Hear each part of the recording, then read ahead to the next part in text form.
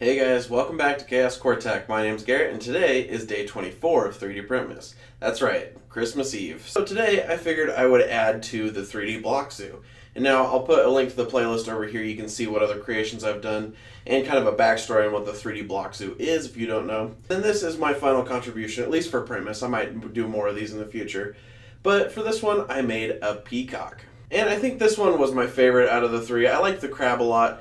But uh, this one was just a little more interesting, I think. So I went with a block for the body, a block for the head, um, pretty much a block for the neck. I angled it a little bit on the side. Um, and then I sketched on the details for like the eyes and the feet down here.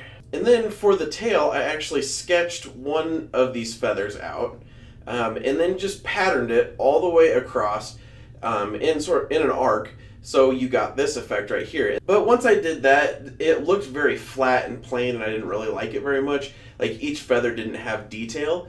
Um, but if you look on the back, you'll see what I did for the technique. I just went every other feather and pushed it back one millimeter. So now they're offset a little bit and each feather has a clear outline. And I really think it looks pretty cool by doing that. And then of course, just like the other ones, I painted this myself. Um, my wife just sprayed it with this blue color on here, so I didn't do that, but she sprayed the whole thing with that. But everything else I painted. I just used um, normal acrylic paint with paintbrushes of, of, various sizes. I used a pretty big paintbrush for the uh, green along the tail feathers there. Then I used an orange color for the feet and the beak, white for the eyes, black for the pupils, and yellow for the dots on the feathers. And I think I actually did an okay job. Um, you know, it's not great um, certainly doesn't live up to my wife's standards. Make sure you don't look too close at these dots because there's a couple of them that are pretty gnarly. But for the most part, I'm pretty happy with how um, this came out. And um, I'm basing that mostly on my previous uh, 3D Printmas models. Compared to them, this is leaps and bounds forward. So um, that's all I ask of myself when learning a new skill is that I'm making improvements. And this is definitely an improvement. So I'm not going to give myself too hard of a time.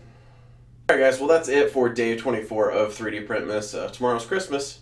And um, I hope you guys enjoyed this. Make sure you head over to Twitter and search the hashtag uh, 3D There's still uh, tons, tons of great ones out there. And I think even today I saw one that was a, a wolf, and it was pretty cute. So make sure you go check that out. Alright guys, thanks for watching. I'll see you tomorrow.